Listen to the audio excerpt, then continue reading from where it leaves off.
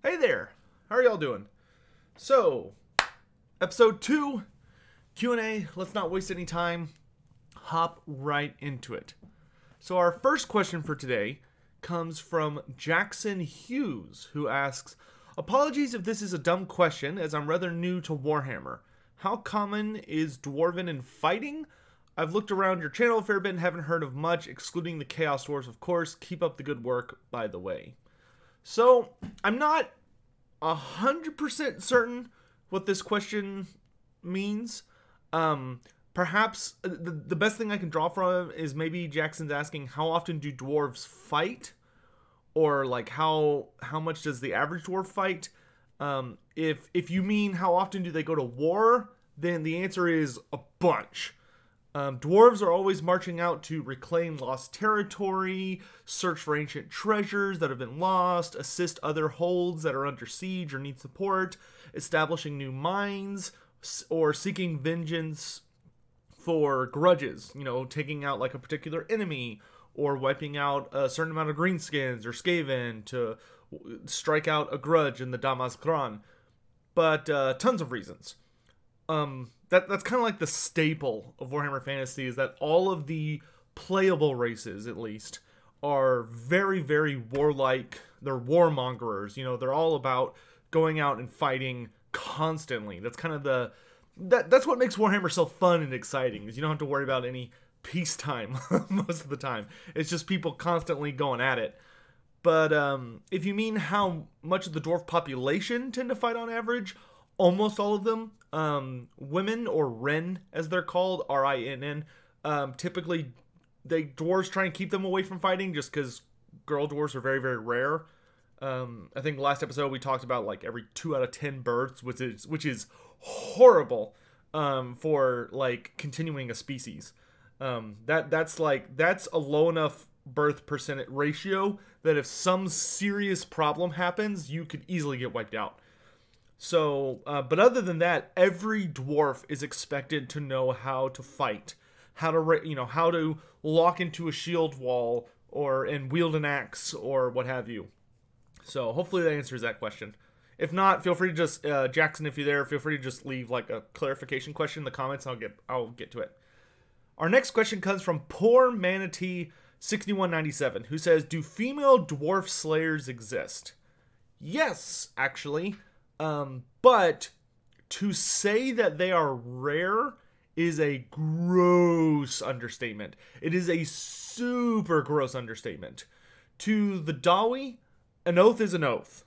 If you are an oath breaker or bear some incredible shame due to a failure, that will prevent you and maybe even your ancestors and descendants from finding entry into the Hall of Ancestors in the afterlife the only option you have to escape that fate is by is to die in combat seeking a glorious death. Off the top of my head, I cannot think of any female slayers, but conceptually, there must have at least been a few. Um, granted, if a situation occurred where a Rinn did take the Slayer's Oath, you better believe she would not be taking it alone. Losing a losing a Rinn to Grimnir's cult would be devastating to her clan, any associated clan, any clan that was involved in whatever events led to that, and um, even to like the hold she was from. It, w- it would be a horrible, horrible event. That being said, there's no reason one can't exist. Um, it, it, it, it has to have happened at some point. But like I said, I can't bring anything to memory. Um, Philia Bong asks, I really like the splitting of the Q&As, makes it easier to watch them. Thanks, I appreciate that. I always question whether or not this was a good decision. and your questions for the Dawi. Okay, there are a few. Uh, number one, how strong is Gromril armor really? Could it like could it protect you from a handgun, magical elf arrows, or even warpstone projectiles from Jezzail's? Two, since dwarf rangers know the mountains very well, could they not easily help or take Kadoks by causing landslides or avalanches to attack fortified greenskins, which would then cause casualties the orcs and Skaven couldn't keep up with? And three, are there is there an aircraft carrier that has gyrocopters? Okay, so first question. Gromril is unmatched by any natural metal found across the Warhammer world. Um, Gromril is more often than not like it, it's almost it, it, it is it is unbelievably fantastical in its elements. When properly forged into armor, it can easily thwart elven arrows, um, bullets from handguns. Uh, it can casually turn aside like a lance thrust from a charging Bretonnian knight, and it can even hold back like a giant, you know, um, swinging at you. However, it's not invulnerable, um, especially to weapons that were specifically crafted to tear through it. For instance, Warplock Jezzails, which use unstable ammunition, aka Warpstone bullets. Those Warpstone bullets um, are. Warpstone is incredibly deadly, and Skaven have kind of perfected making armor piercing rounds by using Warpstone bullets. And Jezzails in particular can tear through Gromril like paper. Like they can just shred through it. Um, the only way that Gromril can naturally survive against like Jezzail fire is that you need to have um, runes on your shield. That's why, for instance, Belegar's shield, the Shield of Defiance, it can easily turn aside and block Warpstone bullets. Um, like, no problem. Um, he's even done that in stories. So, um, which is helped because Gromril is also the best metal there is for runic crafting. Steel is very, very good for rune crafting, but Gromril is like ace for rune crafting. But that should answer that question. Uh, the second one, uh, which was uh, Rangers, right? So that actually does happen a lot. Dwarf Rangers do use different tactics to kill lots of enemies of the dwarves. They cause landslides or avalanches or one of their favorite tactics is they will purposely piss off a like an enemy and lure them into the territory of a manticore that will then descend on them and tear them up. Or sometimes they'll even like use special kinds of bait and distractions to lure a griffin um, off its hunting grounds into a marching army. So it will attack them and kill a bunch of people like they do that kind of stuff all the time however you have to remember that first of all holds are not easy to do that to. Like it, like a dwarf ranger cannot just go to Black Crag and start doing stuff to the dwarves. You have to remember, Karak Eight Peaks is a hold where there's like an amphitheater in the center, you know, like a bunch of open space, and then there's a ring of mountains around it. Most holds aren't designed like that. Most holds have no exposed part to the air. They're all built into the mountain or underground. There's nothing you can there's nothing rangers could really do besides like you know maybe cause a cave in but even then if they do that that's a part of the hold that could likely be destroyed. Um, and b that's only going to put a dent in those numbers. I mean with dwarves we're talking about armies that are in the thousands of strong if they're lucky um, but with skaven for instance we're talking about tens of thousands and with um, Greenskin's kind of the same thing.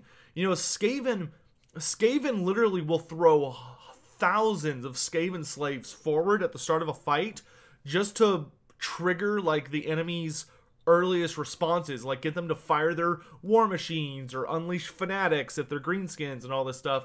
And they'll just sit back and wait for the enemy to basically spend a lot of their ammunition trying to kill all the slaves. Then the actual Skaven army will come forward and attack. That's like a really classic Skaven um, tactic. So there's there's so many of them.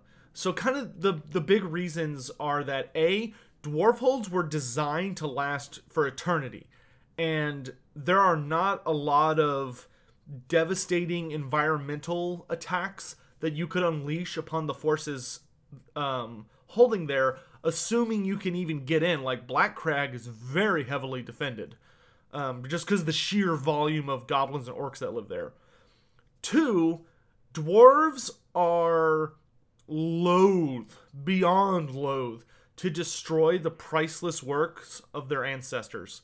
You know, because the dwarves are kind of a. We'll get more into this in a later question, but dwarves are a species that they were capable of like mind-blowing feats in elder days, especially when the ancestor gods were around. And but over the over the millennia, as their empire has crumbled and they've suffered devastation after devastation, they've lost a lot of amazing techniques and abilities that they used to have. Like they can't replicate the work of their ancestors. So to destroy something like that is is sacrilege. It is like an unforgivable sin. Like some people will take a slayer oath if they're forced into a situation where they have to destroy like a wall or a room or a statue or a carving that their ancestors made. Most dwarves are a little more practically minded than that in the modern day, but it happens sometimes. So they don't want to use tactics that would result in them destroying all of their amazing history and uh, um, design. They they would rather fight the long slog, you know, over the course of centuries, and try and force their opponents out with armies and um, you know stuff like that, than they would blow up a hold and bury everything underneath and just say you know screw it, which is kind of a flaw of the dwarves, you know. Um, as to your third question, are there aircraft carriers? Uh, yes, actually there are there are both flying vessels and naval vessels that are capable of carrying gyrocopters on board. Um, when it comes to flying vessels, um, the uh, the first one that comes to mind is the Spirit of Grungni, which was built and constructed by uh, Malakai Makaisson. Um, he has it's a like a big zeppelin that is capable of having uh, gyrocopters on it um, that can there's like a pad where they can hang out and you can like take off and fly. Um, you can read about that in the Gotrek and Felix book uh, Dragon Slayer. Um, and then there's also ironclads that are colossal. You know, they're these big old, um, very very heavily armored warships, and um, new tons of ironclads are capable of or have gyrocopter landing pads where they can you know where they keep gyrocopters on board that can go out and harass enemy ships and uh, such and such. So like the the game that introduced us to Count Noctilus and Aranessa Saltspite as characters, which is known as um, oh gosh, what is it called? Um, well, it, it doesn't. Mm, it'll come to me at some point during this video. But um, it's it's a it's an ocean warfare game. But um, in that game, you can one of the ships you can play with is a dwarf ironclad that has like a bunch of gyrocopters that it can use to harass enemy ships. Um, so hopefully, uh, I don't think we'll ever see ironclads as playable in Total War Warhammer because that would require naval warfare. But I do really, really hope that we will get dwarf war zeppelins, or um, sometimes they're called thunder barges, um, as a DLC or free DLC update to the dwarves. I really, really hope for that.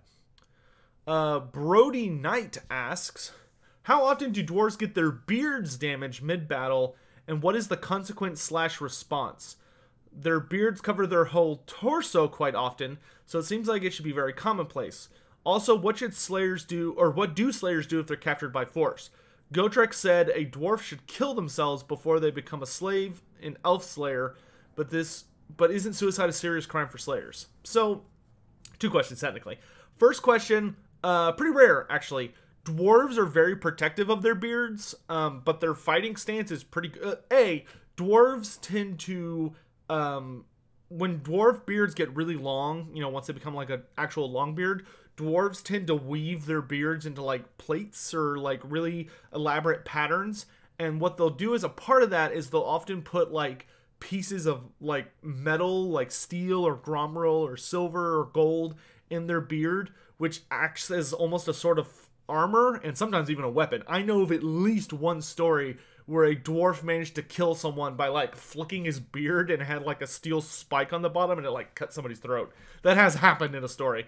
But um uh, some dwarves go the extra mile and wear like full on beard guard um, made of gromril, like iron breakers. You know, they have those big masks where they have the whole beard, and that's practical. It's there to defend their beards, um, to make sure that they can't um, be torn apart.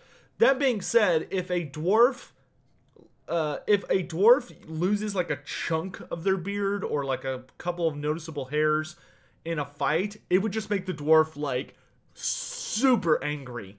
Like he's not gonna like bust his his own nuts over it, but you better believe he's gonna do everything in his power to rip the spine out of whoever did that to him. Um, however, if a dwarf uh, loses their like loses their beard in battle because it's burned off, or they like they get scalped along their chin, or you know something happens to that extent, or it's like mangled beyond salvation. That is a deep and terrible shame to a dwarf. Their beards are incredibly important to their sense of honor and respect and culture. Um, a dwarf's beard is priceless. Uh, mo- any dwarf would much rather lose one of their limbs than lose their beard. And if dwarves do lose their beard, that is instant Slayer oath, instant. Um, there is there is no dwarf who has remained sane of mind and not taken the Slayer oath who lost their beard. No, there's that has not happened. that is like that is like ooh, that's bad. Um, but uh, like there may be a single or very minor exception, but 99 point infinite nines percent of the time, instant slayerdom.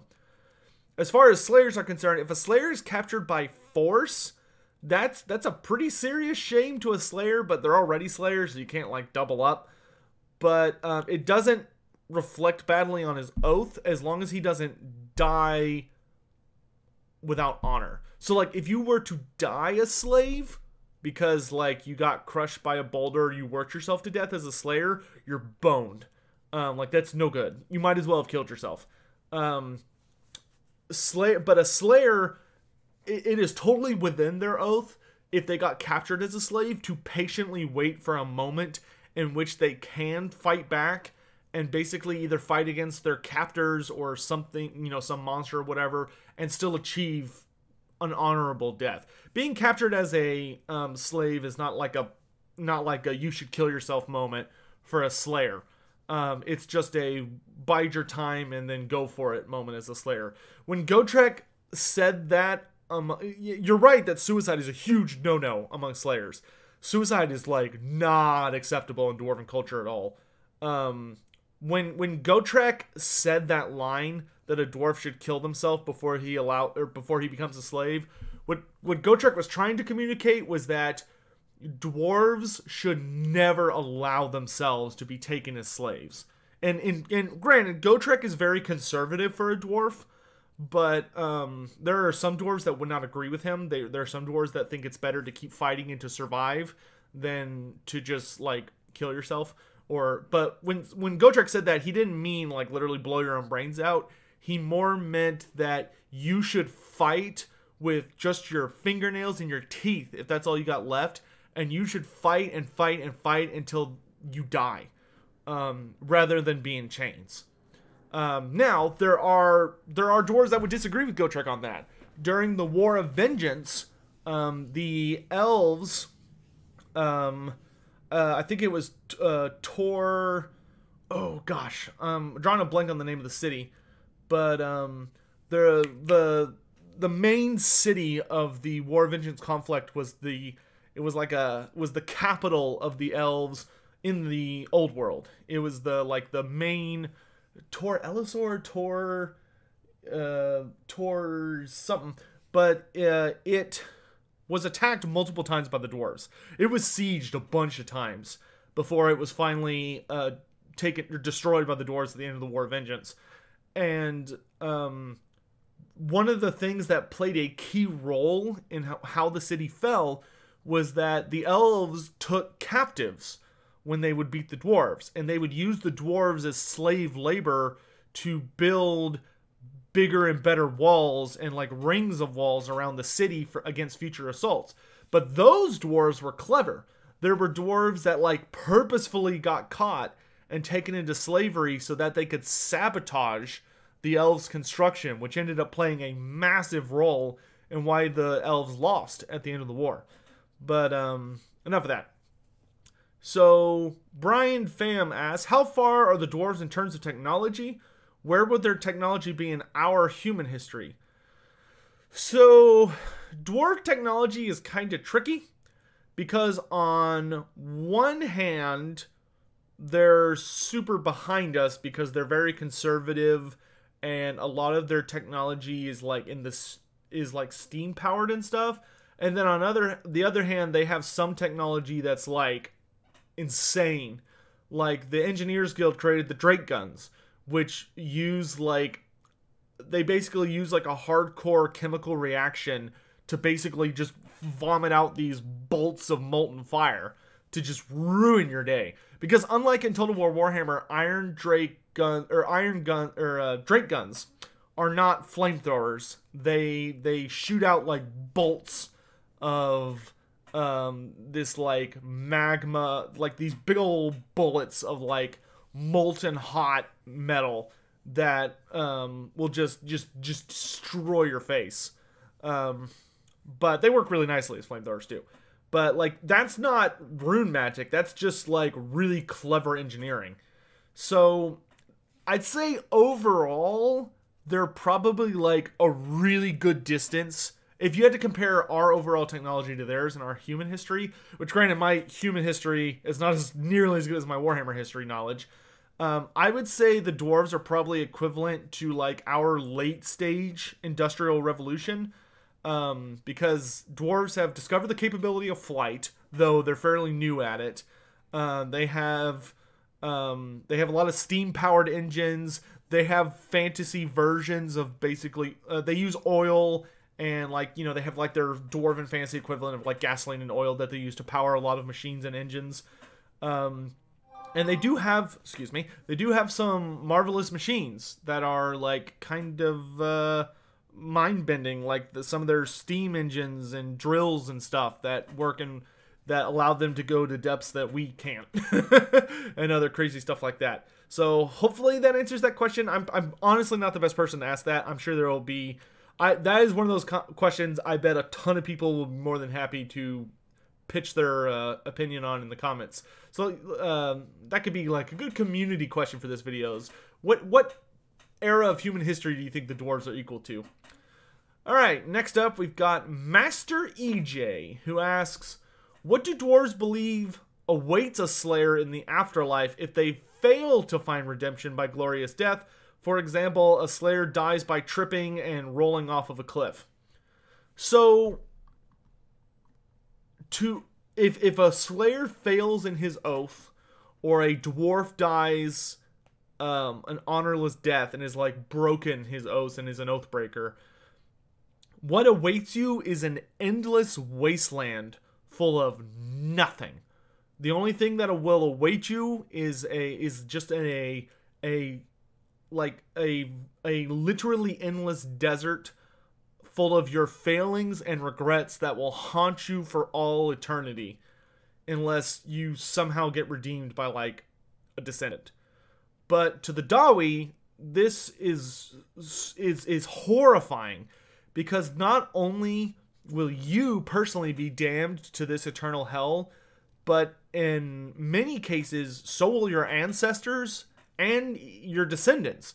Because you have to remember in dwarf culture, um, if you commit a horrible crime and you die without um, being able to resolve it, it doesn't just die with you, it's passed on to your next of kin or someone else who can be held responsible. So that could be your kids, that could be your significant other, that could be your parents, that could be your cousin, maybe your friend or an ally or your clan or your hold. Like it could there can be horrifying um passings of severe sins. I mean, look at um look at Ungrim uh, Iron Fist.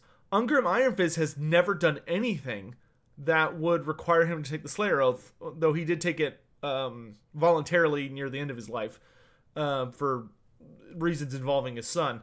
But uh, his entire family line was tainted by the Slayer Oath because none of his fathers died an honorable death in battle. All of them died fulfilling their oaths of kingship.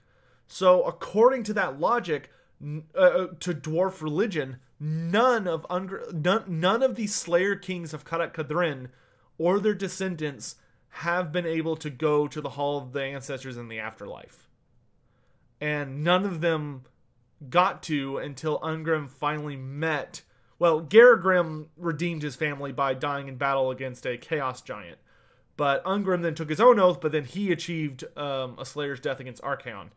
So eventually they redeem themselves, but to but to become a Slayer is a dark and heavy commitment, not only to yourself but to everyone. It is it is to fail in the Slayer oath is a really scary form of damnation. At least to me, like I really like my family and like the people in my life who are close to me either by blood or bond.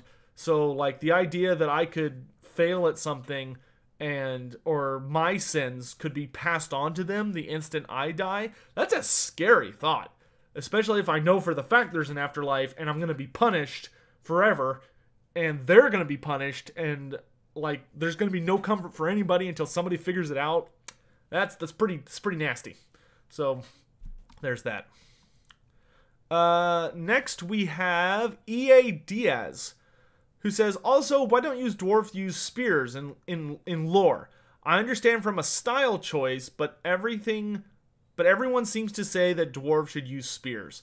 Okay, so this I've heard this one too. There there are a lot of people who are like, oh, dwarves, you know, dwarves should use spears because physics and they it, it would be better because they're short. Uh, even though a dwarf would clock them in the face for suggesting it.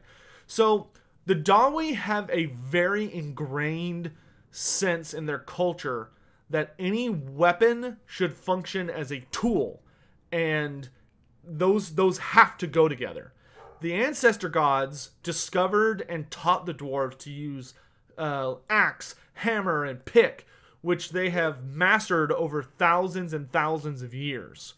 Um, to innovate something completely new and absurd like a spear, which is useless if you're mining, forging, um, or doing a lumber operation, rune crafting, farming. Like a spear is not a tool, it's explicitly a weapon or a walking stick if you're really desperate. Um, to innovate a weapon like that, it would be an insult to the ancestors of your people because you have to remember one of the things that dwarves are so stoic about or stubborn about is one of the thing, reasons they don't like innovation is because whenever you innovate in dwarven culture, you are basically making a declaration of what we had for this was not good enough, so we need to do it better.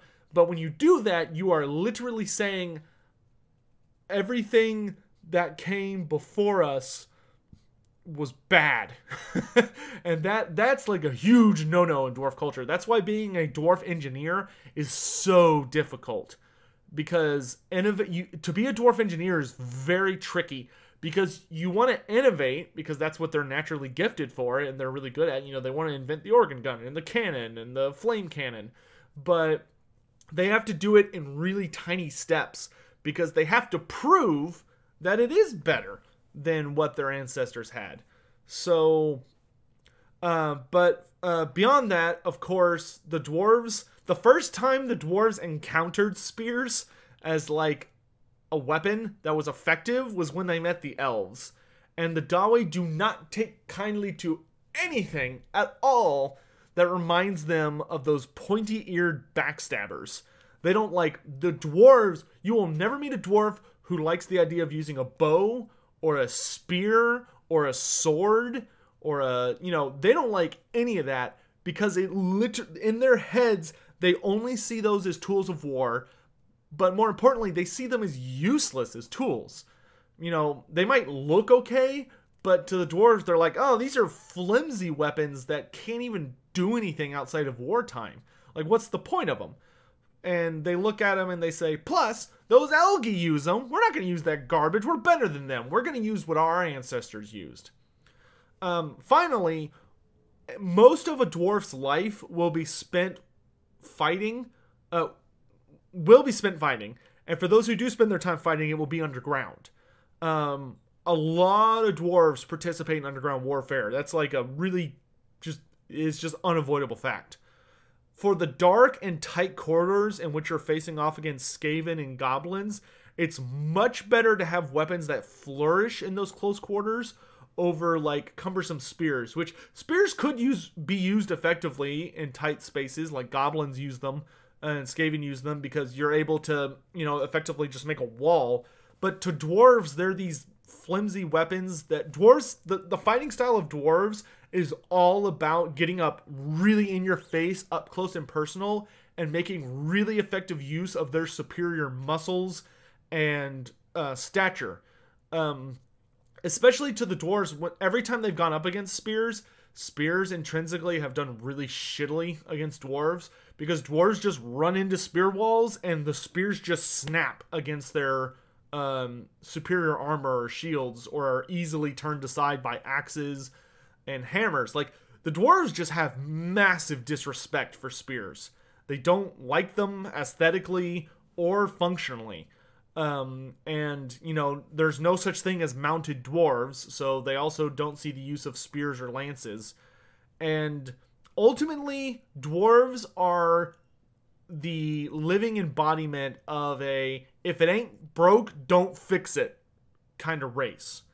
So spears have just never been able to bridge that gap as useful in dwarven culture. I mean, you'll notice that for dwarves, they have not innovated on melee weapons in thousands of years.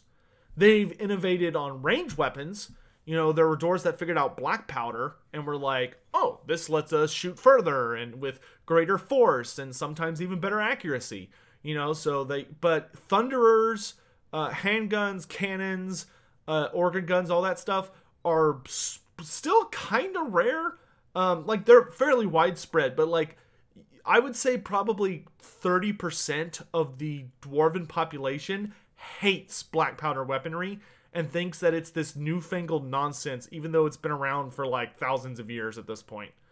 Um, and then you have like even more dwarves who look at steam powered weapons or fire powered weapon or like weapons that shoot fire like flame cannons or so I guess alchemical weapons and they look at that and they're like, ah, that you know, we don't need that. That's garbage. We don't.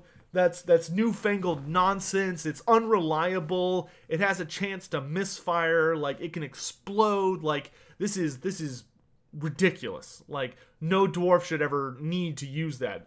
And you know, a lot of dwarves, you'll meet dwarves that like are like the only thing a dwarf should ever need is a crossbow, an axe, and a shield and like a suit of mail because that's all my great great great great great great great great grandfather needed and he fought orcs that were 10 times taller than the orc like that's that's the way like dwarves are the epitome of the grandfather that's like well back in my day you know i walked to school barefoot naked uphill both ways through eldritch dimensions in blizzards of negative 400 degrees and i was fine and he's like complaining because he has to pay the taxes for his kid to like take a safe bus to school so that they don't have to like walk in the heat. you know, those those are dwarves. So hopefully that kind of answers that question. And we are out of time. Uh, so I will make a note of where we are for today. So thank you to everyone who submitted questions. Hope you guys are enjoying the return of the series. We'll be back tomorrow with another 30 minutes of questions. See you guys then.